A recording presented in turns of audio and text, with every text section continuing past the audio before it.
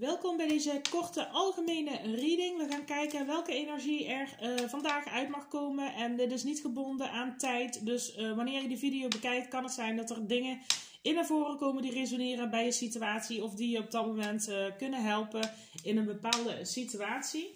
Ik ga beginnen met het Moonology Oracle Deck. Kijken welke boodschappen er uit mogen komen op dit moment. Universum. Ik wil graag een heldere, duidelijke boodschap voor de energie van het moment. En dat kan zijn op het gebied van liefde, carrière, noem maar op. We gaan gewoon kijken wat eruit mag komen voor de komende periode.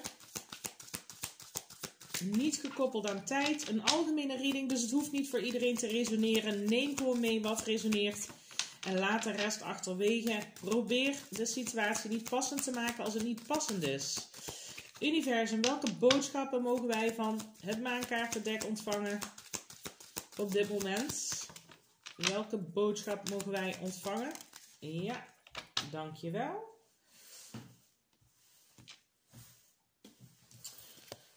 De kaart. What do you need to release?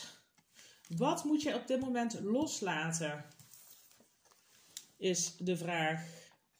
Er is iets wat je los moet laten. We gaan kijken wat er uit mag komen van deze engelenboodschappen.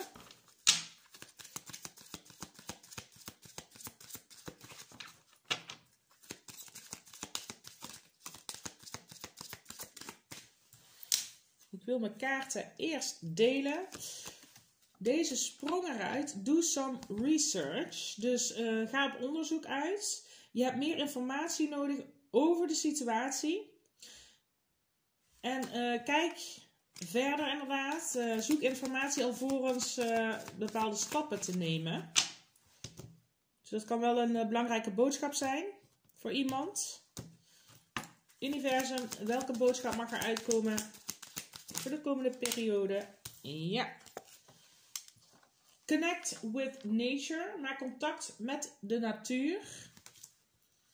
You're rejuvenated and inspired by spending time outdoors. Dus je zult je uh, ja, verjongd uh, voelen, uh, nieuwe energie krijgen, geïnspireerd raken door tijd buiten door te brengen.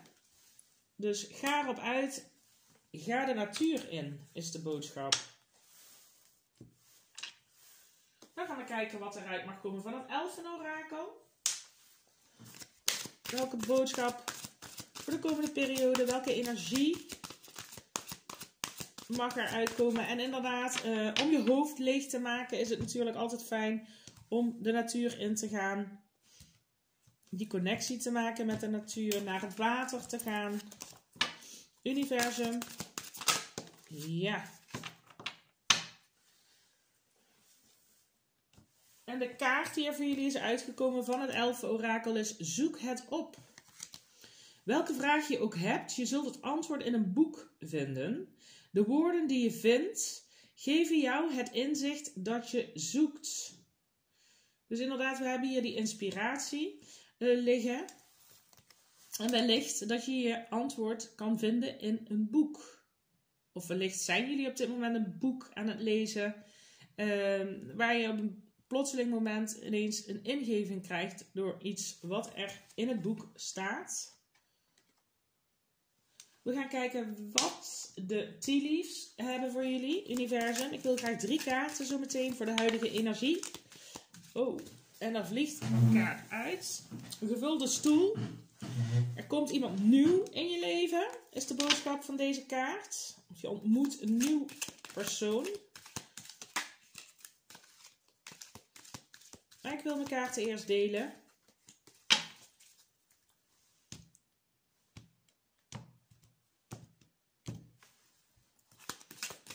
Kaarten alsjeblieft. Voor de huidige energie. Welke boodschap mag er doorkomen? Een heldere, duidelijke boodschap alsjeblieft. Voor de komende periode.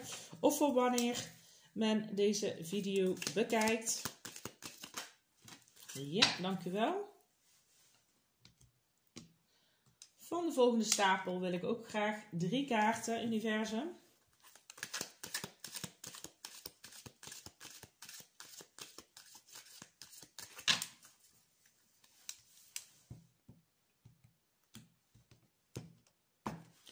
Drie kaarten alsjeblieft. Welke boodschap is belangrijk om te horen op dit moment? Wat mag er uitkomen voor de komende periode?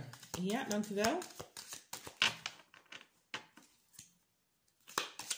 Eén kaart alsjeblieft. En dan mag het gaan om liefde, om relaties, ambities, carrière. Ja, dankjewel. We gaan meteen kijken welke zes boodschappen er zijn uitgekomen voor jullie. We hebben een appel als eerste kaart. Verleiding zal jou testen. Dus je zult verleid worden tot het een of ander, uh, inderdaad. En ja, misschien is dit hetgene wat je los moet laten. Uh, te snel toegeven, wellicht in een situatie. Of je laten verleiden tot iets wat je eigenlijk niet wil te maken hebben met ongezonde gewoontes. En ja, ik heb het gevoel dat je getest gaat worden door het universum in een bepaalde situatie. Uh, heb je je lessen geleerd of niet? Dus een bepaalde test. Dan hebben we een tijger. Ja, iets risicovols doen. Een, een kans uh, pakken. Dus inderdaad, denk goed na voordat je uh, ergens inspringt of ergens aan toegeeft. Kan te maken hebben met die verleiding. Iets doen wat wellicht bepaalde gevolgen heeft, waar niet over nagedacht wordt. We hebben een gavel. Involvement with the law. Dus je krijgt te maken met de wet. Het kan ook te maken hebben met hier iets riskants doen, een risico nemen. Misschien toegeven aan een bepaalde verleiding, wat ja, bepaalde gevolgen met zich mee kan brengen. Dus denk goed na. Waar je instapt, welke keuze je maakt. Of je toegeeft aan een bepaalde verleiding die misschien, waarvan je weet dat het niet goed is. We hebben een funnel, een periode van frustratie en lessons to be learned. Dus lessen die geleerd moeten worden. Een periode van frustratie. Dan hebben we een cobweb. Je bent beschermd tegen negatieve krachten die buiten jouw controle liggen. Dus je bent beschermd. Weet je gidsen, je engelen beschermen je in een bepaalde situatie. Maar het is natuurlijk jij zelf die een keuze maakt om toe te geven aan een bepaalde verleiding of een bepaald risico te nemen. Dus ja, maak een weloverwogen afweging, beslissing hierin. En dan hebben we het bos. En dit heeft te maken met niet helder kunnen denken of een situatie niet helder zien. En ja, we hadden zojuist uh, een kaart. Zoek naar meer informatie. Je hebt meer informatie nodig. Dus inderdaad, zorg dat je de juiste informatie hebt om helder te kunnen denken, om de situatie te zien voor wat het is. Uh, breng wat tijd in de natuur door. Uh, ja, op die manier kun je informatie krijgen en ook in een boek wellicht. Dus we gaan kijken wat er van de tarot voor jullie uit mag komen. Maar breng jezelf niet in een positie dat je op de een of andere manier een overtreding bent. Omdat we hier involvement with the law hebben. Dat is niet zo'n hele prettige kaart.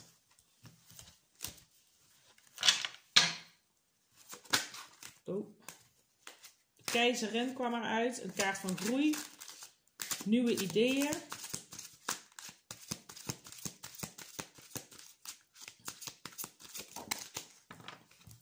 En een einde. Een transformatie. Maar ik wil mijn kaarten eerst delen. De doodkaart kwam er dus uit. Kan te maken hebben met een schorpioen. Je kunt zelf schorpioen zijn. Of dit in je element hebben. Of de persoon waar je mee te maken hebt. Universum drie kaarten voor de huidige energie. Welke boodschap moeten wij doorkrijgen? Drie kaarten alsjeblieft. De keizer. Ram energie. Als eerste kaart kunt te maken hebben met een ram of zelf ram zijn. Dit kan een oudere persoon zijn, iemand in autoriteiten. Dus we hebben hier die wet. Uh, dit kan een rechter zijn of een advocaat. Ik hoop het niet. Dit kan ook jouw energie zijn, een energie van de controle terugnemen over je leven, de leiding nemen, actie ondernemen op een bepaalde situatie. We hebben de staven 10, lasten die gedragen worden. Uh, dit kan fysieke uitputting zijn door te veel hooi uh, op je vork te nemen, te veel werk uh, te verrichten, inderdaad, en te weinig rust nemen voor jezelf. Daarom weer belangrijk, die connectie met de natuur. En we hebben hier wat do you need to release? Ja, de staven 10 is een 10. En een 10 is inderdaad een einde uh, en een nieuw begin. Dus je wil die lasten loslaten. Je draagt heel veel lasten mee op je schouders. Je bent uh, bezig met te veel dingen tegelijkertijd wellicht. Nog één kaart voor de huidige energie. Wat mag er uitkomen voor de komende periode? Ja, en dan komt hij toch, hè? Hij sprong net al uit. De dood, een transformatie, een einde en een nieuw begin. Wedergeboorte. Dus er zal een einde plaatsvinden van een bepaalde situatie. En dit is ook iets wat je los zult moeten laten. Je gaat de leiding, de controle over je leven terugnemen en er gaat een nieuw begin uh, starten. De aas van staven, iets, uh, ja, een passioneel nieuw begin. Dit kan zelfs uh, voor sommigen, dit kan ook voor de mannelijke vruchtbaarheid staan, die aas van staven. En ik zag zojuist de keizerin. Dus het kan ook zijn, uh, het kan met een zwangerschap, uh, uitbreidingen in een familie te maken hebben. De geboorte van een kind, de, het verwekken van een kind. Maar een, bepaalde fase, een bepaalde situatie wordt beëindigd. En dit is iets wat je heel veel lasten uh, ja, waardoor je heel veel last op je schouders hebt en uitgeput bent met die staven 10. Waarom ligt hier de aas van staven? Aas van staven. Pentakels 6. En de staven 4. Beide hele spirituele kaarten. Uh, ja, een soort van karmische energie. Ik krijg hieruit een, een nieuw begin. Er moet iets beëindigd worden. Uh, karma. Je krijgt wat je uitzendt. En uh, ja, ik heb het gevoel dat dit te maken heeft met een, connectie. Dit kan uh, ja, het opnieuw liefde inblazen zijn van een uh, connectie die al bestaat. Een, dit kan een hele mooie connectie zijn. met de zes van pentakels, een gelijkwaardig geven en nemen. En met de staven vier, dat kan iemand zijn waar je al in een huwelijk mee zit, in een lange termijn relatie. Of inderdaad, je gaat van een relatie naar een verloving, een verloving naar een huwelijk, of jullie gaan samenwonen. Een nieuwe start maken door samen te gaan wonen. En dit kan ook een nieuwe liefde zijn. Een soulmate connectie die in je leven komt. Want we hadden ook bij eh, de tea leaves, uh, er komt iemand nieuw in je leven. Dus het is belangrijk dan misschien om het verleden los te laten. Waarom ligt hier de keizer? De keizer. Ja. Zwaarden 8. Illusie vast te zetten. De situatie inderdaad niet zien voor wat het is. En dat kan te maken hebben met uh, zelfsabotage, angst in je hoofd zetten. En we hebben hier dat niet helder kunnen denken in een situatie dus je hebt misschien het gevoel, ik kom niet uit uh, die situatie in het verleden. Dit kan te maken hebben met een koning van pentakels, stiermaagd, steenbok, energie. Iemand die succesvol is. De stiermaagd, steenbok energie vind ik ook altijd die stierenergie terug in de keizer. En deze kaarten verklaren de keizer. Dus ik heb het gevoel dat dit dezelfde energie is wat hier ligt. Jullie energie.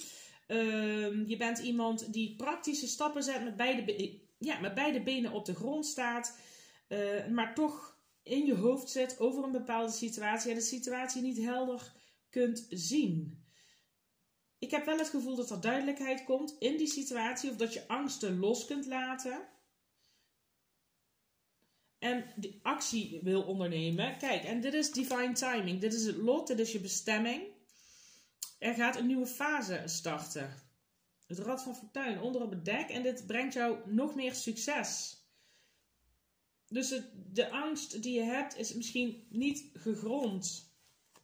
Waarom ligt hier de staven 10? De magier, tweelingenenergie. En we hebben de koning van kelken. Weer een koning. Kan zijn dat jullie met twee uh, situaties, twee personen te maken hebben. Uh, dat je met een koning van kelken te maken hebt. Een waterteken, schorpioen, kreeft, vis of iemand met deze eigenschappen. Dit kan ook jullie energie zijn en de energie van je persoon ligt hier.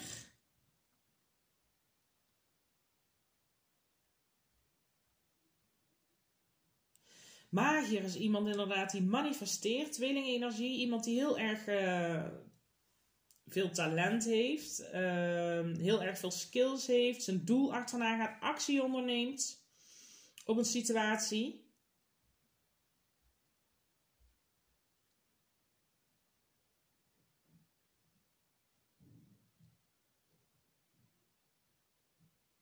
Koning van Kelken, iemand die veel liefde uh, voelt, behulpzaam is, begripvol is, iemand die zijn emoties goed onder controle heeft.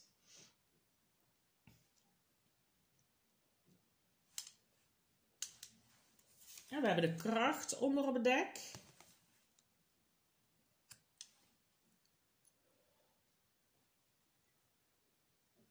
Nog een kaart voor de staven 10.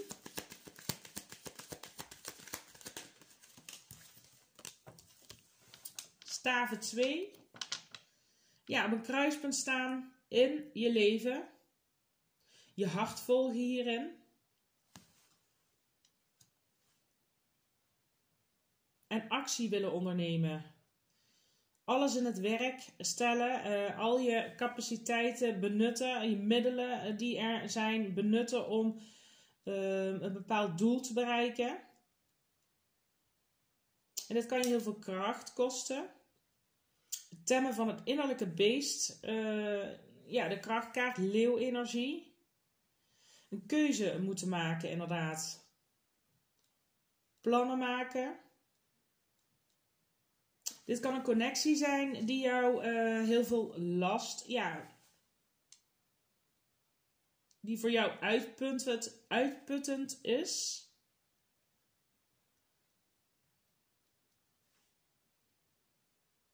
Waardoor je inderdaad op een punt staat van een keuze maken en ja, die last loslaten. Dus dit kan jullie energie zijn, dit kan ook de energie van je persoon zijn. Waarom ligt hier de doodkaart?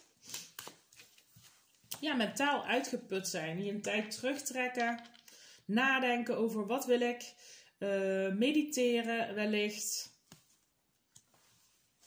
Het gaat om een sterke band, een sterke connectie die je met iemand hebt. Want de kelke 2 lag onder op het dek kan een soulmate relatie zijn. Waarom ligt hier de doodkaart, universum?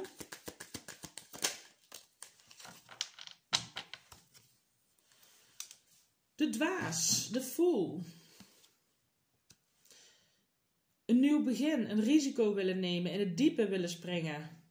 Na een periode van je teruggetrokken hebben, na een periode van rust, herstel van een bepaalde situatie mentaal uitgeput zijn, fysiek uitgeput zijn door een uh, bepaalde situatie. Ik heb ook het gevoel dat jullie uh, ja, een verandering manifesteren.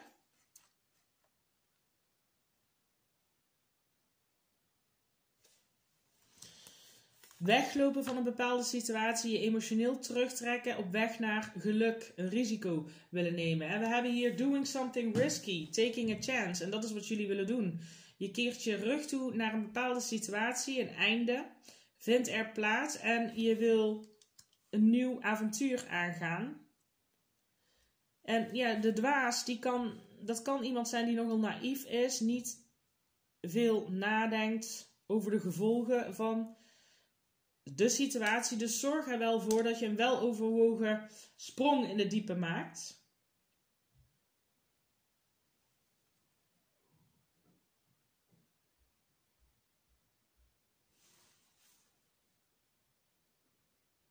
Want we hebben hier ook die temptation will test you.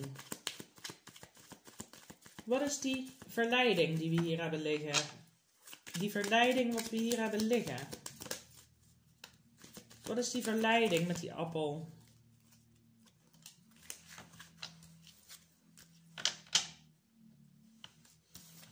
Vijf van pentakels. En wederom de keizer, ram-energie. Controle, actie willen ondernemen.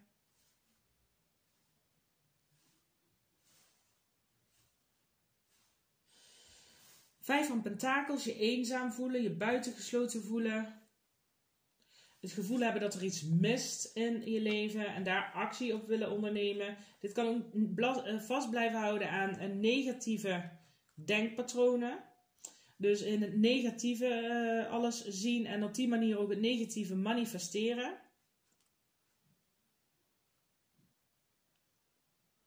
Dit kan een gebrek zijn aan financiële middelen met de vijf van pentakels, het gevoel hebben. Dus het kan zijn dat er een uh, mogelijkheid komt voor jou om uh, meer financiële stabiliteit te krijgen, uh, kreeg ik zojuist al door met die zes van pentakels. Er komt een heel verleidelijk aanbod binnen.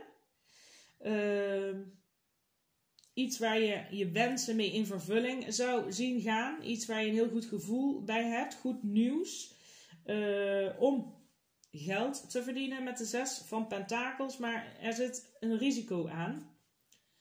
En je zult verleid worden, inderdaad. Met dit aanbod, met die aas van staven. Waarom ligt hier die staven 4? Staven 4 kan te maken hebben met een huis. Staven 4 wordt verklaard de keizerin. Kaart van groei. En de kelken 7 opties inderdaad. Ja, ik heb het gevoel dat er een bepaald aanbod gedaan wordt. En dat klinkt heel mooi.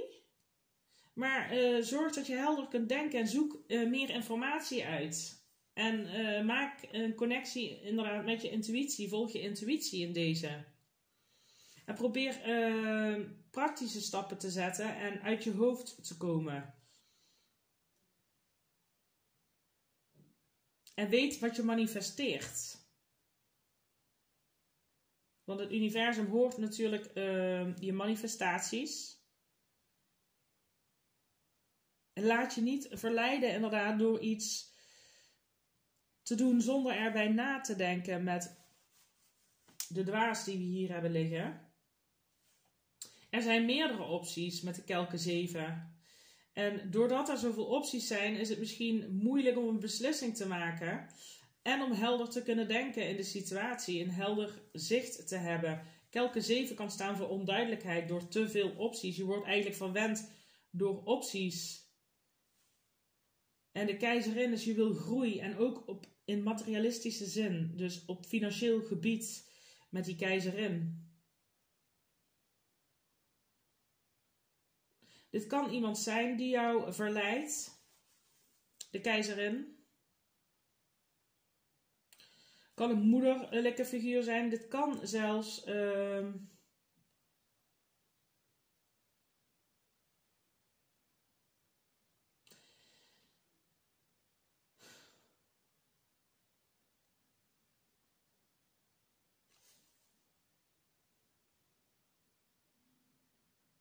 We hebben de zes van pentakels en de vijf van pentakels.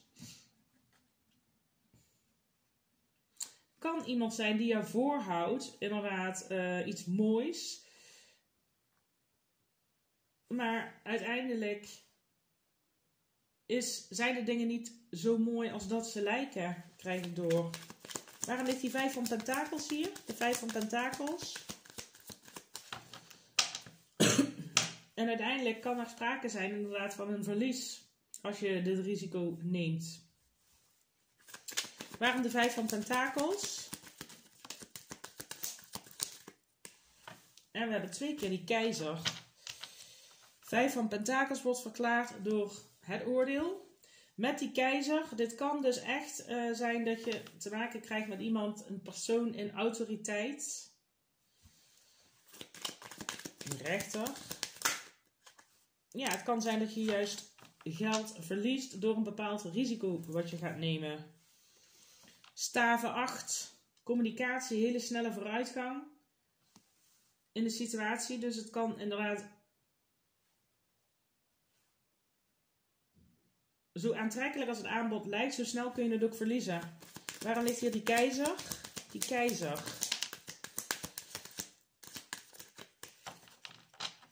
De keizer. Maar is een illusie. De keizer wordt verklaard door de schildknaap van staven. Nieuw begin, boodschap. Een deur die open gaat. Je kunt misschien ehm, een aanbod krijgen van iemand die uh, ouder is. Een uh, vaderlijke figuur. Iemand uh, ja, waar mensen aanzien voor hebben. Iemand eh, die waardering krijgt vanuit zijn omgeving. En met, een bepaalde, met een bepaald aanbod komt. Een verleidelijk aanbod. Als het gaat om succes en financiële onafhankelijkheid met de 9 van pentakels. Dus ja, probeer meer informatie uit te vinden over je situatie. Zorg dat je geen uh, risico's neemt die, je, die ervoor kunnen zorgen dat je te maken krijgt met uh, de wet. Met juist een verlies van uh, geld. Want we hebben die periode van frustratie en een les die geleerd moet worden. Dus weet ook wat je manifesteert. Kruispunt in je leven. Een einde van een situatie. En het kan te maken hebben met het nemen van een risico zonder na te denken over de gevolgen. Waarom ligt die fool hier als laatste? Waarom ligt die fool hier?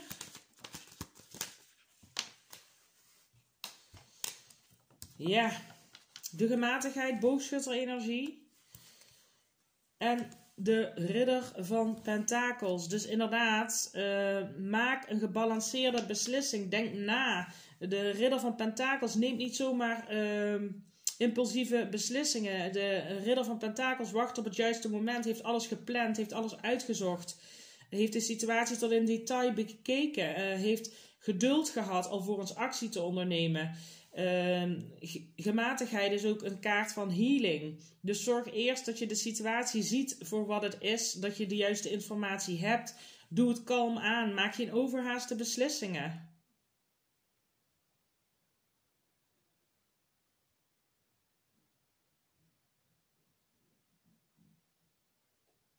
Waarom ligt hier de zwaarde 4?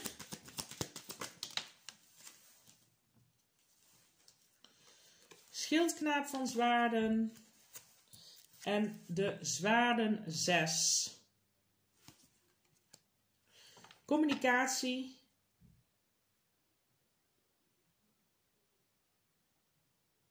En het heeft te maken inderdaad met het wegkeren van een bepaald conflict naar kalmer vaarwater toe gaan. Je in jezelf keren, je terugtrekken van een situatie en op die manier een inzicht krijgen.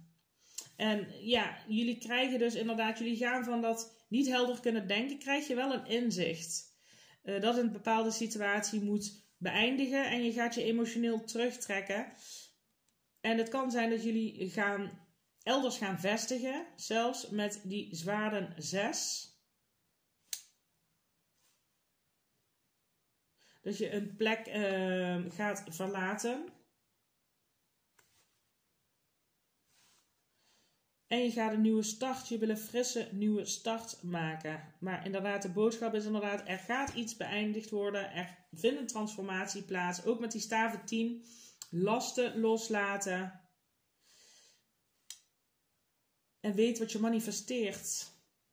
Je bent sterker als dat je denkt, maar inderdaad, zorg dat je de juiste informatie hebt over een bepaalde situatie. En zorg dat je zelf niet in de problemen komt.